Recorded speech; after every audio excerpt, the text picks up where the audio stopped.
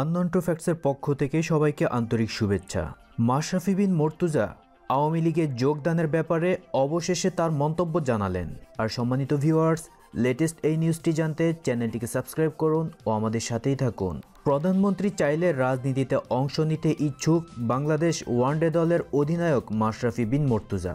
এক ফেসবুক স্ট্যাটাসের মাধ্যমে এমনটাই জানিয়েছেন ঢাকা বিশ্ববিদ্যালয় ছাত্রলীগের সাধারণ সম্পাদক মোহতার হোসেন প্রিন্স। বছরের প্রথম দিনে নতুন বছরের শুভেচ্ছা বিনিময়ের জন্য মাশরাফির সঙ্গে দেখা করেন মোতাহার হোসেন প্রিন্স।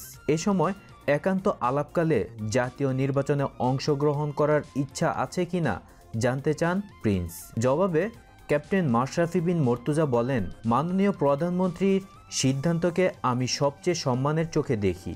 এই কথার মাধ্যমে আগামী নির্বাচনে অংশগ্রহণ করার ইচ্ছা ব্যক্ত করেন দেশসেরা অধিনায়ক মাশরাফি বিন মর্তুজা। সম্প্রতি আওয়ামী লীগ তরুণদের মধ্যে জনপ্রিয়দের দলে ভেরাতে কাজ শুরু করেছে। শুধু যারা রাজনীতি করেন তারাই নন, রাজনীতির বাইরে থাকা তরুণদেরও আওয়ামী লীগ আগামী নির্বাচনে কাজে লাগাতে চায়। তরুণ সমাজের মধ্যে সবচেয়ে জনপ্রিয় ব্যক্তিটি হলেন জাতীয় ক্রিকেট দলের ওয়ানডে অধিনায়ক মাশরাফি বিন মর্তুজা। এই পরিপ্রেক্ষিতেই মাশরাফির রাজনীতিতে আসার ইচ্ছার ব্যাপারে জানতে চেয়েছিলেন প্রিন্স। ধন্যবাদ সম্মানিত ভিউয়ার্স, সংক্ষিপ্ত নিউজটি শুনতে সাথে থাকার জন্য। প্রতিনিয়ত এমনই বিভিন্ন খবরাখবরের আপডেট নিউজ দ্রুত জানতে চ্যানেলটিকে অবশ্যই সাবস্ক্রাইব করে রাখুন। আর নিউজটি ভালো লাগলে লাইক, কমেন্ট ও শেয়ার করুন।